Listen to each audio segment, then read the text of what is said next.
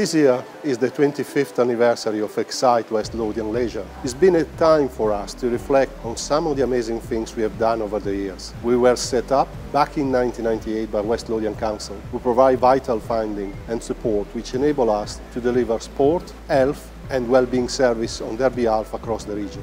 We are a charity and not for profit, so any surplus income we do make is reinvested to benefit our local community.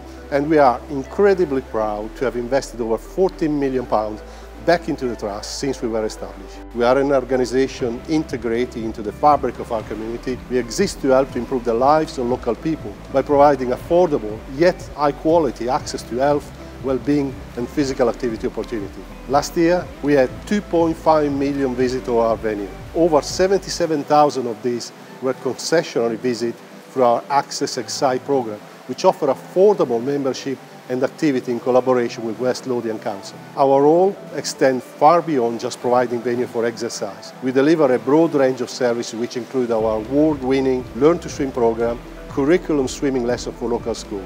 In the last year, we had over 6,000 local children visiting our venue every week to take part in coaching activity across a number of sport and outdoor education. We manage cafe, golf courses, outdoor pitches, sports hall and a number of racket sports spaces. We also provide community access to a number of schools across the region. The difference we make to lives is remarkable. We have an incredibly passionate and dedicated team who truly believe in our vision to help create a West Lothian where everyone can live a healthier, happier and longer life. There is a huge social value in the work we do and we are extremely passionate about the service we provide.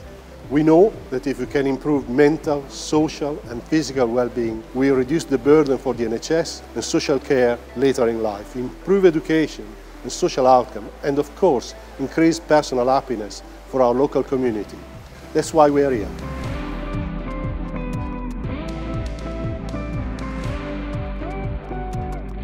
The Health and Wellbeing team are funded by West Health and Social Care Partnership and we work in collaboration with a range of health professionals to deliver our Health and Wellbeing programme which is about supporting those who are inactive use physical activity to manage their long-term health condition. There's so much information and evidence out there about the importance of being active with people living with a condition. It helps with our energy levels, it helps with our mental health and our mental well-being, weight management, and it makes us feel better and improves our quality of life. In September this year, um, we repurposed an underutilised room at Craigswood Sports Centre, which used to be the soft play, to create a well-being hub. These classes are terrific not just for the exercise, which makes a big difference to a lot of people that come here, especially focus on their own because it's company every day and you still get your exercise, which I think to me is personally is terrific. I feel more agile. I have less down thoughts because I'm meeting people, I'm speaking to people and you get a laugh.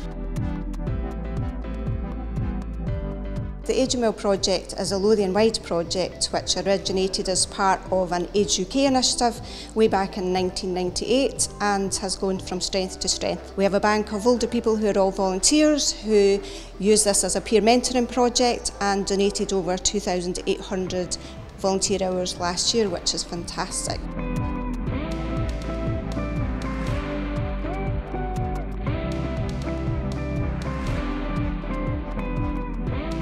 looking at the pool tanks and spaces, it allowed us to increase our programme by 1,300 children, which now we can successfully say have been programmed in and looking at the next stage of adding additional classes to that programme. But the review of the water plan management allowed us really to identify additional spaces as well for children that have um, additional supported needs, so ASN, and to bring them into the programme to learn to swim or experience the pool environment with a teacher who's qualified to cater to their needs. We're enormously proud to be awarded the Learn to Swim Provider of the Year. What it means to us as a team and to Xcite as a venue or as a business, it means all the hard work that we put in during and after COVID has paid off. It's a true reflection of what we do Xcite and why we do the jobs that we do day to day.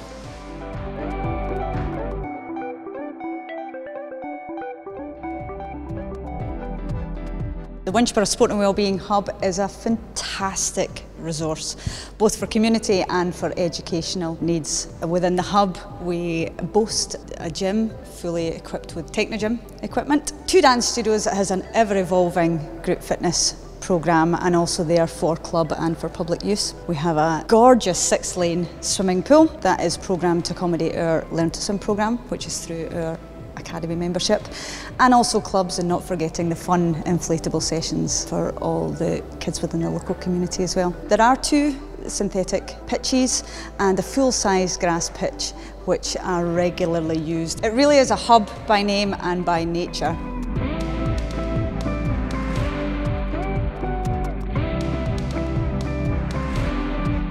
The feedback in general has been really good. Everybody was anxiously waiting for the refurb because it needed done. We've got extra platforms, there's more benches for our free weight exercises. There is also an extra platform in the functional suite. For the rest we have a sled track. Yeah, everything has improved and as soon as people walked in they were amazed by everything that's been done to the gym. I think the new gym is fantastic. Uh, the improvements are like amazing. I think top of the range equipment. Well, I think it's important in this day and age to stay both physically and mentally healthy. I think if you're not in the right space, then that's going to uh, jeopardise your training. So I think both of those things are really key.